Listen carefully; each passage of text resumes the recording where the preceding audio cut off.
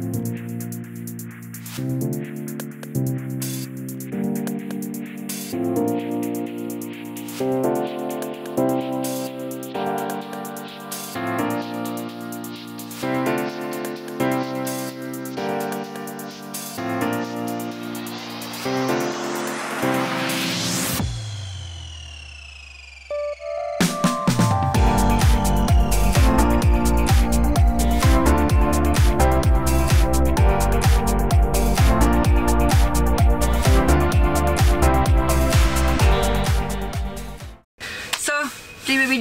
Videofreunde, unser letzter Tag heute von dem verrotzten Urlaub.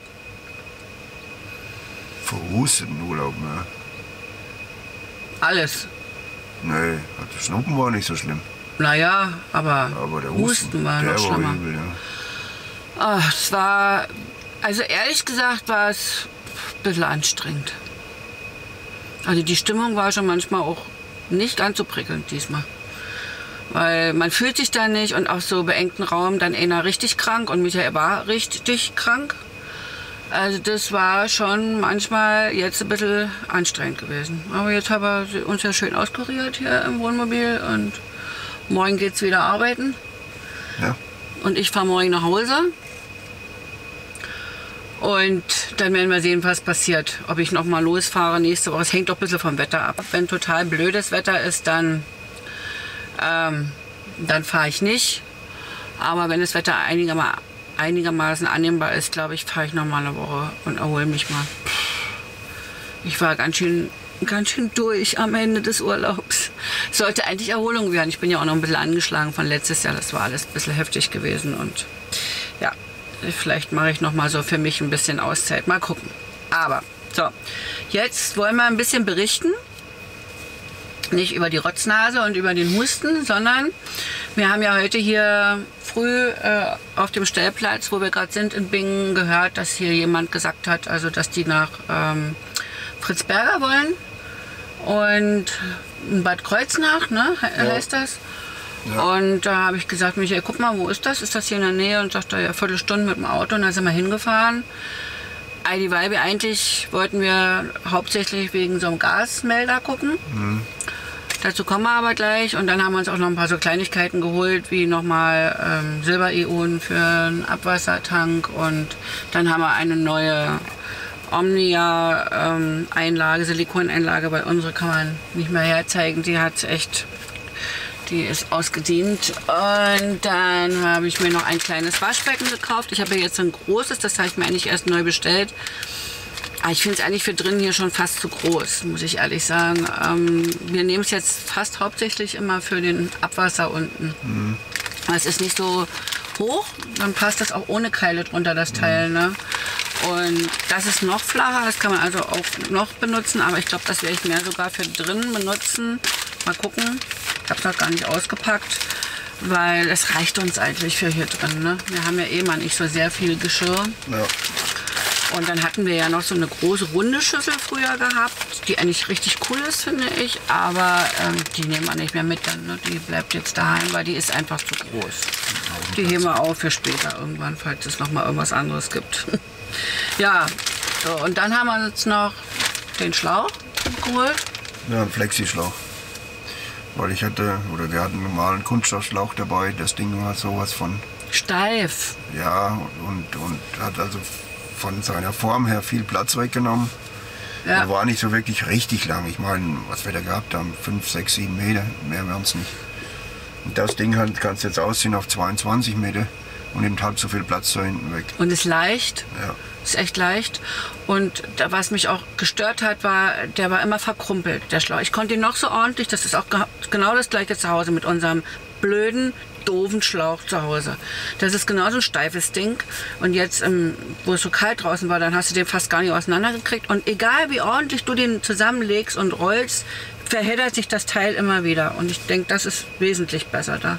Und wesentlich leichter auch Ja. als der andere Schlauch. Viel kompakter zum Zusammenlegen. Also nimmt noch nicht mal die Hälfte von dem Platz Ja, weg, was da das war wirklich eine gute Geschichte gewesen. Dann habe ich mir noch mal angeguckt heute ähm, äh, nach kleinen Tiefkühlboxen hatte ich noch mal geguckt, weil wenn wir nach Norwegen fahren und ähm, es ist immer schwierig da auch mit dem Einkaufen, was heißt es ist nicht schwierig mit dem Einkaufen, aber also ich hätte schon manchmal ganz gern noch ein bisschen mehr Tiefkühlzeug mitgenommen als ähm, ähm, was wir jetzt da zur Verfügung haben. Aber die Dinger sind so schwer. Das geht nicht. Das, ist, das geht wirklich nicht. Das sind einfach zu schwer. Also das kleinste Teil, was ich dann hatte, was ich da angehoben habe, das, das, das kannst du vergessen. Also das abhaken. Wir müssen mit dem auskommen, so wie es ist. Punkt. Und dann wollte ich noch Geschirr kaufen, äh, weil wir haben jetzt unsere, ja, unsere Tassen hier, das sind nicht mehr so die neuesten. Die hatte Michael schon vor Boot. meiner Zeit auf seinem Boot und das ist jetzt 18 Jahre her. Also Oh, könnt ihr euch vorstellen, gekauft. wie alt das ist. Gekauft habe ich die vor 25 Jahren oder so. Ja, so alt sind die Dinger schon. Aber die tun noch ihr Werk. Die sehen halt nur nicht so modern aus. Und dann ist das Problem, was wir haben, wir haben die Tellergröße ist hier optimal. Also die von dem großen Teller ist halt nicht ganz so groß, weil passt aber dadurch gut in diese Hängeschränke oben rein. Und die, die es jetzt da gab, die waren alle größer, die passen dann mehr da rein, wenn man die reinlegen. Und von daher bleiben wir bei dem alten, egal, tut noch sein Werk. Und dann habe ich nach Gläsern geguckt, da hat es mich bald umgehauen, also zwei Weingläser, 19 Euro. Und da habe ich gesagt, nee, also da haben wir auch noch. Es wäre ja nur einfach, dass man mal was Neues hat, ne? Ist ja alles noch da. Und das, nee, das habe ich dann auch nicht mitgenommen. Hat mir auch nicht so gefallen. Nach Stühlen haben wir noch mal geguckt, aber da haben wir auch festgestellt, dass die, wo wir gedacht haben, dass die irgendwie kleiner oder zum Zusammenpacken sind, sind sie nicht Können letztendlich. nicht neu erfinden. Ich Ja. meine, das ist einfach so. Also wir können auch unsere dann benutzen. Die sind halt Die lassen sich gut zusammenlegen. zusammenklappen, ja. Und die anderen sind halt rund, aber haben auch so einen Durchmesser, wenn man die dann einpackt. Ne? Also es bringt nichts. Also haben wir auch gelassen. Haben wir noch ein paar Silber-EUen Was haben wir an Geld gespart? gekauft. Das haben wir halt gespart, genau. Und dann haben wir noch geguckt, und- und zwar wegen dem Gasmelder. Da könntet ihr uns vielleicht mal, wenn ihr wollt, wenn ihr Kastenwagenfahrer seid, ähm, ja, wo ihr die angebracht habt. Also wir haben es jetzt noch nicht gekauft, weil er sagte, das erzähl du mal. Nee, du musst den ziemlich weit unten anbringen, sonst bringt das ja nichts, weil das Gas ist, dieses Gas ist auf jeden Fall schwerer als Luft. Das heißt, es fängt an, sich unten abzusetzen. Da muss es anfangen dann zu piepen. Und da muss ich erstmal gucken, wo ich hier Platz habe für für das Ding und wo ich auch den Strom dafür herkriege, weil du brauchst ja 12 Volt Dauerstrom. Sonst nutzt das ja alles nichts. Also wenn ihr da Ideen habt, Ja, wäre ich dankbar, wenn einer sagen kann, ich, bei unserem Malibu haben wir das Ding da und da hingesetzt und da und da den Strom hergeholt.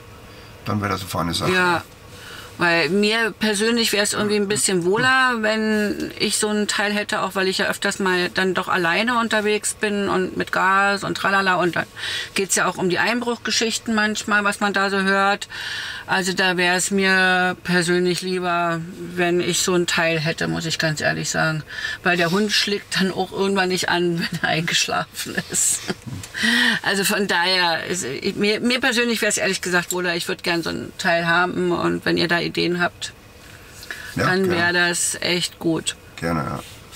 Ja, zur Batterie, ähm, das hat super funktioniert. Also wir würden mal behaupten, dass wenn wir ganz sparsam mit allem umgehen, drei Tage können wir stehen ohne Aufladen. Aber müssen wir wirklich auch, dann auch sparsam mit allem umgehen. Wir haben jetzt gestanden und äh, die Heizung voll am Bollern, wo das so Ja. kalt war und alles. Na, wir waren ja fast wir- drei Tage, wo wir und ohne dann Strom waren wir nach äh, 24 Stunden waren wir noch bei 60 Prozent. Ja. Also zwei Tage gehen locker und das mit, mit voll dröhnender Heizung. Also das ist, das ist gut, das ist sehr gut. Das wäre mit der alten Batterie nicht annähernd machbar gewesen. Ja, Und Batterie. Besten Dank an alle Zuschauer, die sofort sich gemeldet haben und geschrieben haben, was ich da für einen Bockmist gemacht habe mit dem, mit dem An- und Abklemmen der Batterie. Das war der größte Unsinn, den ich in meinem Leben je gemacht habe. Liebe na, Leute, das glaube ich jetzt noch nicht so ganz. wenn es darum geht, wenn es um die Batterie geht, war das der größte Unsinn. Es gibt noch größere, das ist mit Sicherheit wahr. Aber egal. Auf jeden Fall niemals, niemals so machen, wie ich das gemacht habe. Ist ja alles repariert. Ja, trotzdem. Und äh, ich selbst habe das noch nie im Leben so. Seit 45 Jahren habe ich das noch nie so gemacht. Es ist ein Grundsatz, dass zuerst die Masse getrennt wird und danach kannst du alles andere machen. wenn du später fertig bist mit allem, das Letzte, was du machst, ist die Masse wieder anklemmen. Das ist einfach so. Also nochmal Entschuldigung und wie gesagt, besten Dank an die Zuschauer, die da sofort drauf gesprungen sind. Ja. Kann Achso, da waren noch zwei Fragen. Und zwar einmal betreffend dem äh, Booster, das ich da nicht gezeigt habe, ob ich den umgestellt habe auf Lithium. Äh, ich hatte nur durch Zufall gesehen, ich habe da mal, ich wusste das nicht, dass mein Booster das hat, dass den tatsächlich auf Lithium einstellen kannst, weil das ja wohl der kleinste und günstigste von Schaut ist, aber das geht. Und äh, ich habe das dann nicht gezeigt, aber das ist, wenn jemand so einen Booster hat, du guckst drauf und dann steht da, äh, hast du drei Stellungen, AGM, Bleisäure und äh, Lithium. Und das ist so ein Schiebeschalter, da brauchst du einen kleinen Schraubendreher und dann schiebst du das Ding dahin, wo du ihn hinhaben willst. Also das ist easy. Und dann wollte jemand wissen, ob denn unter dem Beifahrersitz äh, Platz für eine zweite Batterie ist. Ich hatte das Ding noch nicht ab, aber ich möchte mal behaupten, mit Sicherheit wahrscheinlich sogar für zwei Batterien da unten oder für eine Batterie unten Ladebooster, weil da ist ja nichts mehr. Da ist ja sonst nichts drin. Da ist jetzt so eine kleine Werkzeugkiste drin, die ist aber, glaube ich, eh nutzlos. Die kann man rausmachen und dann wirst du da Platz haben dafür. Davon gehe ich einfach mal aus, aber ich kann es jetzt nicht hundertprozentig behaupten, weil wie gesagt, den Sitz ab hatte ich noch nicht. Ja. Trockentrenntoilette ist bestellt. Ja, Ähm, wir brauchen nur noch jemanden, der uns diese Platte macht äh, Ja. für die Toilette, damit die beweglich ist. Da haben wir jetzt Kontakt aufgenommen zum einem Schreiner bei uns. Ne? ja. Äh, war ein bisschen anders geplant, ging aber nicht. Und ähm, damals ist, äh, hatte das wohl Iris und Uwe, die hatten wohl auch so eine Platte da. ja, die haben das ja zusammen da entwickelt, da mit, mit denen, da, Genau. dieser Firma. Und dann hatten die geschrieben, man könnte sich dort diese Platte anfertigen lassen. Richtig, ja. Aber das kann man nicht mehr. Die machen das nur nicht mehr, sondern nur noch in Verbindung, wenn du auch dort die Toilette einbauen lässt. Ja. Und das ist für uns nicht machbar, weil das viel zu weit weg ist. Ja, viel zu weit. Äh, das, das ist, äh, steht in gar keiner Relation äh, zu unserem Wohnort praktisch. Und Nee. Michael will das versuchen, alleine zu machen. Und jetzt haben wir bei uns halt jemanden gesucht, der uns diese Platte eventuell dann fertigstellt. Ne? Mal gucken, ob das klappt mit dem. Ja, ich habe Kontakt mit dem Mann gehabt und er hat gemeint, ich soll ihn mal, weil Iris und Uwe hatten ja darauf hingewiesen, einmal kann man das mit dieser Platte die bestellen oder da gab es auch einen Link bei Ihnen von jemand, der einem den Grundriss zuschickt. Genau. Gegen eine, Das hat auch Spende. funktioniert. gegen eine Spende in die Dieselkasse. Genau, das haben wir Kriegst du eine gemacht. PDF-Datei. Ja. Ich hoffe, er macht das immer noch. Also wer daran Interesse hat, bei Iris und Uwe mal gucken, die haben da den Link. Und äh, das habe ich auch, also das wurde mir auch zugeschickt, diese PDF-Datei. Ich habe dann einen Betrag da für die Dieselkasse äh, überwiesen. Und dieses, diese Zeichnung habe ich jetzt dem Tischler zugeschickt und er hat aber noch nicht sich gemeldet, weil dadurch, dass der Ausdruck muss größer sein als eine, als eine DIN A4-Seite. Dann musst du erstmal jemanden finden, der, ich weiß nicht, DIN A3, ob das dann reicht, vom Drucker her, der das ausdrucken kann an einem Stück. Und danach kannst du noch dann dir deinen, deinen Adapter oder wie man das Ding, diese Grundplatte anfertigen, nach dieser Zeichnung. Der wollte sich das jetzt angucken. Und Ja, es, gibt ja, meint- es gibt ja Druckerfirmen, da gehst du hin und lässt dir das in groß äh, ausdrucken. Ja Ja, er Problem. meinte, Perdinax wäre wohl auch das Material der Wahl dafür, weil das dann auch wasserresistent ist. Und wir gucken mal. Ja, schauen, vielleicht hat er auch selber noch eine Idee. Wir haben auch Ja. gesagt, er kann sich da selbst mit noch einbringen. Ne? Also Mal müssen wir mal gucken. Ich hoff, wir hoffen, dass das klappt. Ja. Und dann, dass man dann, also vor Norwegen auf jeden Fall diese Trockentrenntoilette haben. Also das wäre schon echt wünschenswert. Und Ladebooster, na, da kommt dann irgendwann mal. Das geht nicht alles auf einmal. Wechselrichter. Ah, meine ich ja, Wechselrichter. Wechselrichter kommt dann irgendwann auch noch. Ach so, ja, weil Batterien hatte auch jemand geschrieben, falls wir den Booster wechseln, dass wir dann äh, Kabel mit größerem Querschnitt brauchen. Ich hatte mir das alles schon durch den Kopf gehen lassen und äh, ich habe nur gesagt, ich probiere es erstmal mit dem, was wir jetzt haben. Und ich muss sagen, das klappt einwandfrei. Wenn wir, wenn wir Ich fahren, der, der, der lädt, das lädt einwandfrei. Diese Batterie wird von diesem Booster super geladen. Also ich habe im Moment keinen Bedarf für einen stärkeren, stärkeren Ladebus, als der, so. der eingebaut ist. Und das ist nun mal der kleinste von Schaut und der reicht aber trotzdem völlig aus. Wenn du so drei, vier Stunden mal gefahren bist, ist deine Batterie wieder wunderbar Ja, voll. das ist eine ganz andere Geschichte Ja, jetzt. Also das ist schon schön. Also wenn man so bisschen autarker dann ist und das andere kommt auch alles noch nach. ja, und bei der Batterie spielt es auch keine Rolle, ob sie jetzt immer voll geladen oder so. Das macht alles nichts bei den Lithium. Die kannst du mal 70, 80, dann Prozent oder so und kannst du wieder benutzen. Kein Memory-Effekt, nichts. Also einwandfrei. Ja. Also von daher war das ganz gut jetzt mit dem Winterurlaub, dass wir das ein bisschen austesten konnten. Äh, ja, das war es im Großen und Ganzen. Das, was wir noch machen müssen, was uns aufgefallen ist, ist einfach, dass wir die Heizungsrohre in der Toilette, also im Bad, vor allen Dingen, nein, nicht, mehr in der Toilette hinten drin, Ja. wo man sie reinschwenken kann, die Heizungsrohre müssen wir unbedingt isolieren. Ja, ist abartig heiß bei uns im Bad, Ja. wenn die Heizung läuft. Du musst die Tür offen lassen, sonst hältst du das Zum da Duschen ist es schön. Ja, nee, selbst dann ist mir das zu warm. Und äh, wir haben den, die, den Auslass von dem, von dem Bad, von der Heizung, der ist zu. Und wenn du den noch aufmachst, dann schmilzt da drin alles, glaube ich. Aber die Abwärme von diesen Heizungsrohren, die müssen das Problem sein, weil das ist... Das, das Ja, wenn du das auch anfasst, alleine das äh, Heizungsrohr, was links an der Wand ist, an der Toilette, das ist, da verbrühst du dir fast die Hände, so heiß Ja. ist das. Und der ganze Griff, wo man die Toilette schwenkt, der ist auch richtig Der wird warm. heiß, der wird richtig heiß. Und ähm, ja, also ich denke mal einfach auch dann, wenn die Trockentrenntoilette drin ist, habe ich so Befürchtungen halt, ne, wenn das Zeug da unten gekocht wird, dann ist das mit Sicherheit auch nicht gut, wenn Das ist jetzt schon nicht gut. Ist jetzt auch nicht schön mit der Tedford-Toilette, wenn die da alles so schön warm unten ist, ne? Aber für die TTT ist es auch nicht so prickelnd. Und deswegen habe ich gesagt, da müssen wir noch mal ran, dass wir das richtig isolieren unten, die, die Heizungsrohre, dass das nicht ganz so heiß wird, ne? Ja. Meine Wärme die- ist ja schön, aber... Ja, aber du willst ja die Wärme dahin haben, wo du bist. Und ich sitze nun mal sehr selten hinter der Toilette. Also da brauchst Ja. du nicht. Also! Ja, wir haben ja, ich habe meine ja auch unterm Bett. Die mussten wir auch isolieren. Das habe ich nicht ausgehalten. Ich meine, ist ja ganz gut und schön, wenn man Wärme im Rücken hat, aber das war so warm, das, das geht nicht. Also das war, das habe ich nie ausgehalten. ja. Ja, aber ansonsten sind wir jetzt mittlerweile ach, Mülleimer. Also da müssen wir uns auch noch eine neue Konstruktion einfallen Nur lassen. eine Kette dran. Das Ja, das hat nicht funktioniert mit dem. Also Naja, das ein Tag. War, war gut gemeint, aber Ja. ja, das Problem sind halt diese Terminals, die er genommen hat.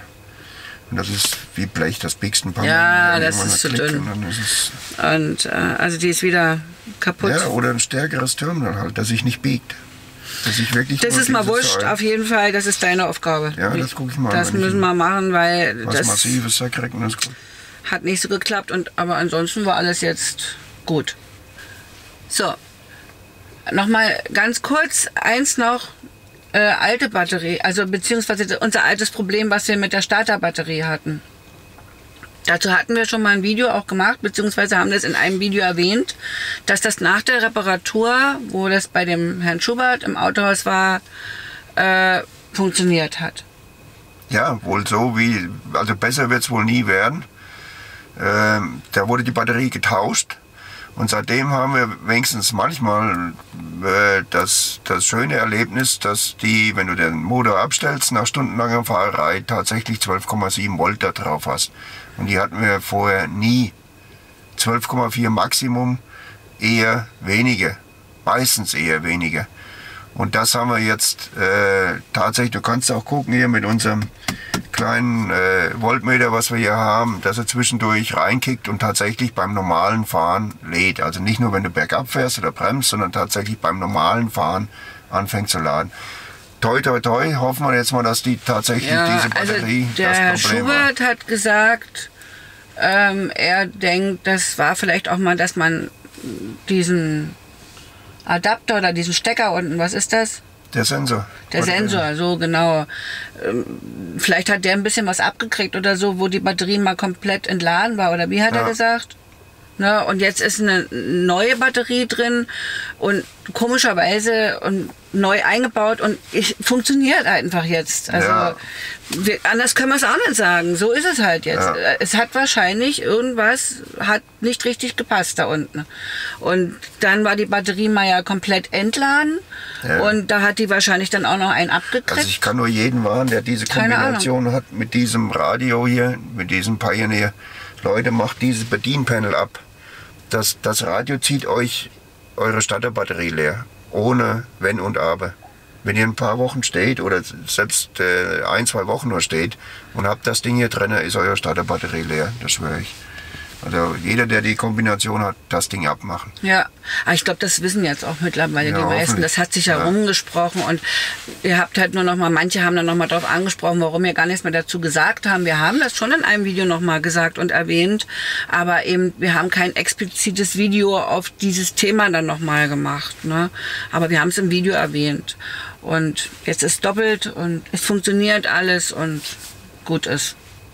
Ja. Wir sind im Moment immer, also ich bin sowieso mit dem Auto sehr zufrieden, weil für mich ist es halt toll, dass ich auch mal alleine fahren kann. Das ist ein Auto für mich natürlich, ist es ideal, weil ich als Frau auch mal alleine unterwegs sein kann. Ich kann dieses Auto mittlerweile ganz normal fahren wie mit einem normalen Auto. Es macht mir überhaupt nichts mehr aus.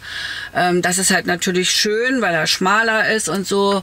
Natürlich gibt es auch irgendwo ein bisschen, äh, wie soll man sagen, gerade jetzt so, wo Krankheit war und so, wenn man wirklich sehr eng im Wohnmobil ist und viel im Wohnmobil ist. Es ist eng, ja, man muss sich arrangieren. Das ist aber eine, also finde ich nicht so das Problem. Das einzige Problem, was man haben muss, ist ein bisschen Ordnung. Und wenn die da ist, dann funktioniert das auch. Man muss System haben, wer wann was macht und man muss Ordnung haben. Und wenn das nicht ist, dann wird es chaotisch. Und das kann ich nicht leiden, wenn es chaotisch wird. Wie schön. So. Eine Frage habe ich noch, die auch. Noch eine. Ja, eine Frage, die auch dieses Auto fahren, also mit dem 160 PS Motor. Ähm, bei uns reicht AdBlue, bevor die Warnung Ah, ja, ankommt, stimmt, ja. äh, irgendwo zwischen zweieinhalb und maximal, aber wirklich maximal 3000 Kilometern, dann kriegen wir die AdBlue-Warnung. Dann kannst du ungefähr 8 Liter AdBlue nachtanken.